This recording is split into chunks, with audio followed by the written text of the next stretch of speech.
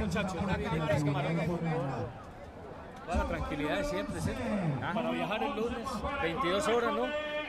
No hay afán, no hay afán, no hay afán.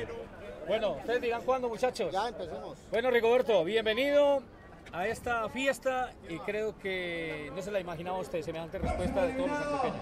No, para nada, para nada.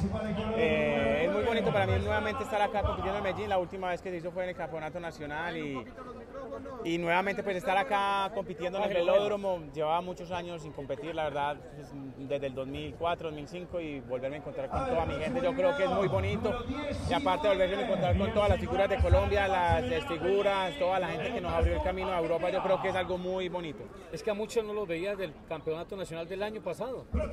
Bueno, yo el que corrí fue el de que hicimos acá en Medellín En hace Medellín, dos hace años, dos sí, eh, no se veían mucho. Oiga, Rigo, eh, en Europa ven las montañas llenas de colombianos, pero aquí está reunida toda la familia paisa en Medellín, ¿ah? Sí, no, yo lo dije, o sea, eh, este año en el podio de los Campos Elíseos fue muy bonito, pero dar esas dos vueltas acá, la gente aplaudiendo, tiene realmente tiene un significado muy grande para mí y son de las cosas que, que a uno se le quedan para siempre, o sea, las carreras, las- los triunfos, eso pues lo olvida uno, pero esta, estos aplausos de la afición de la gente, eso se le queda a uno para toda la vida. Qué sensación volver a la pista.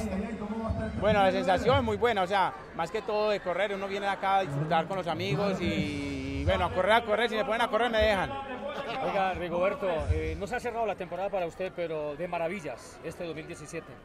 Yo siempre he dicho que para mí todos los años son buenos, desde que yo pueda terminar la temporada es bien. Un- yo eh, digo, eh, un deportista no lo hace grande si gana o pierde. Un deportista siempre, siempre va a ser grande porque nos representa y todo. Entonces no tienen que depender los resultados de un deportista. Todos trabajamos, todos hacemos esfuerzo para ganar. Es un deporte y a veces se gana, a veces se pierde, pero lo más importante es ser constante y seguir trabajando. Rigo, ¿ya tiene su programa 2018? ¿Ya sabe algo? ¿Tiene algo diseñado?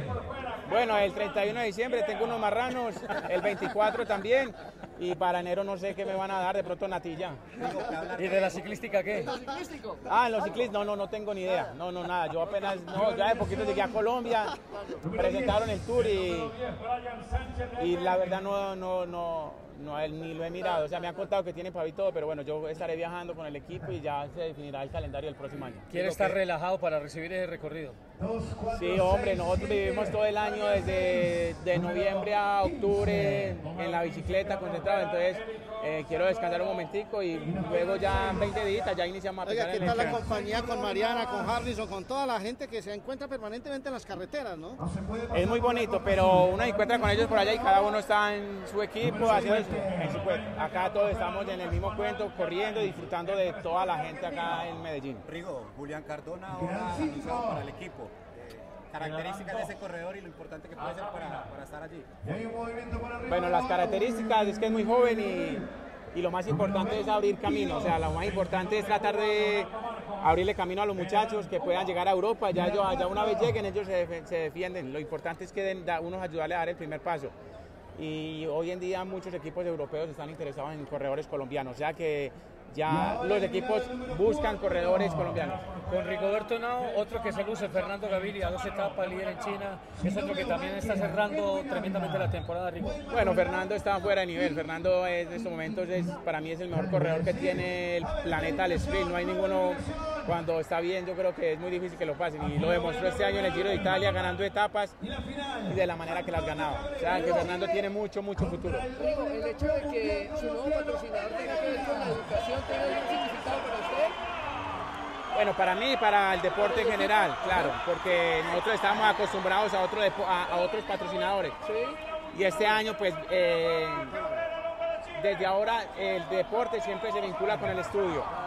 Y es bueno, muy bueno que un, un patrocinador de estos tan grande pues se vincule con el ciclismo. Campeonato nacional lo podríamos tener en la C1 también el año entrante. En la- esa es la idea. Yo ya hablé con el equipo y yo creo que es una carrera muy buena que se pueda, eh, le puede ayudar mucho a Colombia en muchos campos. Y la idea es estar acá con el equipo y que puedan venir varios equipos de Europa. Una vez vengan, yo creo que ya quedan amañados. Y ya sabe que el campeonato es por estos lados, ¿no? Claro, papá, me extraña. Lo sabía primero que usted, mijo. Oiga, disfrútelo, Ah, no, pues. claro, usted lo disfrútelo, usted lo disfrútelo, ¿no? No, no, tampoco estoy hasta allá. Bienvenido, ¿ah? Bueno, muchas gracias. como abanderado de la seguridad vial el mensaje en estos campeonatos, el mensaje para todos los autores viales, usted que ha sido abanderado de estos temas. Bueno, es un tema muy complicado que está pasando en estos momentos Colombia. Se ha aumentado los ciclistas porque está claro, hoy en día hay más accidentes porque es mucha más gente la que va en bicicleta. Y es un tema, todos los días mueren 16 personas en Colombia, es un tema muy delicado. Y bueno, la idea es tratar de sensibilizar un poco a los conductores, pero también a los ciclistas. Los ciclistas eh, a veces ocupamos todo el espacio y hay que tener un poquito, hay que tener un poquito más de paciencia de parte y parte. Yo creo que es eso, un poquito más de tolerancia y todos caemos en la vida. Lo que pasa es que mm, participar en esto y cuando uno conoce las cifras es un poquito o sea, lo pone a uno a pensar un poco más, porque la gente dice, sí, muere mucha gente y tal, pero cuando es complicado, estos días me encontré con tres personas que habían tenido accidentes graves y es jodido porque ya la vida cambia totalmente, perder seres queridos, entonces es complicado. Gracias, papá. ¿Qué tanto se ha vendido la camiseta de